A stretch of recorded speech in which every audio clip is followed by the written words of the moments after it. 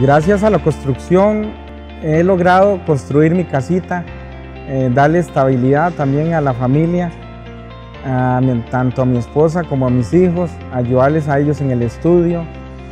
Eh, también, bueno, tengo un hijo de 19 años que trabaja conmigo durante el día, en la noche se estudia para la ingeniería, entonces eh, eso me, me satisface mucho.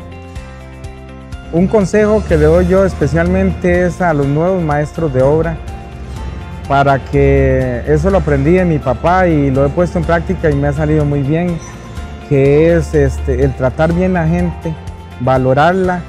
Muchos dicen que la gente no es indispensable y es indispensable para nosotros lograr los trabajos, mantener una cuadrilla fija. Entonces uno tiene que valorar siempre esa gente, eh, eh, ayudarles en todo lo que ellos necesiten. Y para eso está uno, para ayudarles y apoyarlos en todo